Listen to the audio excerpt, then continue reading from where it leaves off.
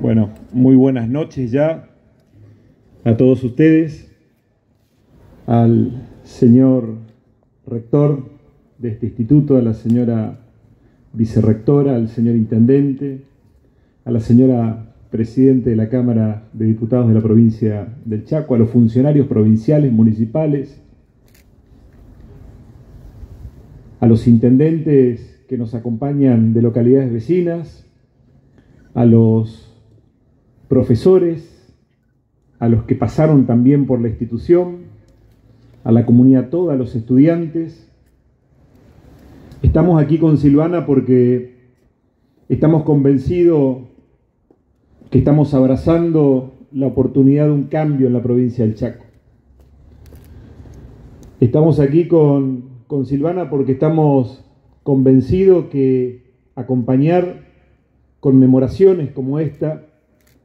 realmente generan y profundizan el sentido de pertenencia de una institución que nos formó, de una institución en la que en el trayecto de formación, de vida profesional, ha dejado seguramente los mejores recuerdos y es allí donde estamos convencidos que en este instituto, y lo hablamos siempre con la ministra de Educación, con Sofía, que hay que tener un fuerte acompañamiento a instituciones que son formadoras de formadores, a quienes educan, porque allí está justamente el poder transmitir, más allá que educar y formar para tener mejores ciudadanos y una sociedad más próspera, también generar ese sentido de pertenencia a esa institución. Y es por eso que 50 años de vida, como se expresó acá, significa, significan luchas, significa ese sueño que nació en esa institución bajo la mora, como decía don Luis, y aparte también significa en esa docente, exalumna como Marta, la posibilidad también de reivindicarse en la oportunidad que le dio este instituto en la posibilidad de, educar.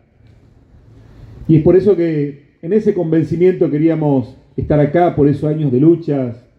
años de sacrificio, pero fundamentalmente de logros. Y logros se dan a través de un sueño, de un sueño que ha tenido seguramente una comunidad tan dinámica, pero fundamentalmente también una, una sociedad que tiene una particularidad, este Las Breñas, que es gestora permanentemente de oportunidades, que inclusive ante la crisis tiene la capacidad de reinvertirse, pero también de demandar y en la demanda buscar la solución como ha sido este sueño. Cuando la saludaba a familiar de, Miguel Neme, a la hija, ¿no? A vos, me decía, papá tenía tercer grado. Y fíjense qué orgullo, ¿no? Para la familia, pero también para los breñenses, que alguien quería seguramente la superación del otro con tercer grado, la superación de sus hijos, de sus vecinos, de su comunidad, buscando en esa cooperadora ser parte del progreso, porque educar y dar esa oportunidad de educar significa progreso, significa crecimiento, significa desarrollo, significa crear la oportunidad de ese formador para dar alas de libertad, alas de libertad a muchos jóvenes que puedan vincularse al mundo del trabajo y la tecnología, del hacer, del desarrollo de sus comunidades. Entonces digo, el orgullo de ese nombre, pero fundamentalmente también de todos los gestores que permitieron que los directivos, que los docentes, que quienes se formaron sean parte de la historia de estas hojas doradas, como decían los presentes que hoy que se distribuyeron aquí. Y yo quiero simplemente venir a hacer un compromiso como lo he hecho al momento de contarle a los chequeños qué es lo que pretendíamos hacer. Algunos me dicen, la política o los políticos siempre buscan resultados rápidos para que se vean y apostar a la educación es apostar al tiempo, a resultados a mediano y a largo plazo. Y estoy decidido que es por acá. Estoy decidido que fijar prioridades tienen que ser con una fuerza tal que los cimientos nos permitan construir una sociedad fuerte, libre, pero para eso se necesita también determinación en las decisiones. Y fue así que desde el primer día comenzamos esta tarea de poder recrear un nuevo tiempo en la educación, de poder repensar, como decía Omar hace un rato, el rector de este instituto, de repensar también cómo estos tiempos necesitan nuevas formas y herramientas para capacitarnos, pero que hay algo que es sagrado para el formador y para el docente, que es la pasión que le pone al arte de enseñar, que es el compromiso que le pone a lograr de que los ciudadanos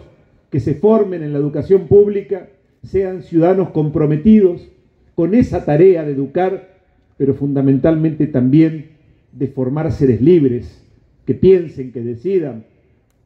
y que después también construyan ese sueño de capacitarse permanentemente. En ese convencimiento tenemos grandes desafíos, lo decía la ministra.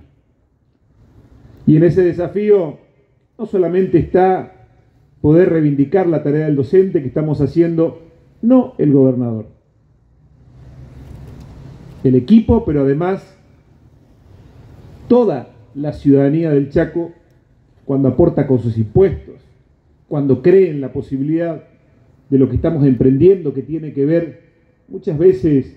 con un salario digno que hoy estamos tratando de administrar y que seguramente falta aún más pero que tenemos que ir cumpliendo. Pero en ese cumplimiento, en ese desafío, en ese compromiso,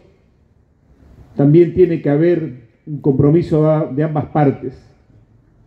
Del gobierno provincial, quien le toca encarar políticas de acompañamiento al sector, y del sector que entre todos entendamos que este nuevo tiempo nos va a exigir. Así como vamos a exigir a los alumnos para tener una educación de calidad significa también capacitarnos y es por eso que en los próximos días estamos haciendo el lanzamiento de un programa de capacitación junto al Ministerio de Educación de la provincia para que la herramienta de la capacitación nos permita calidad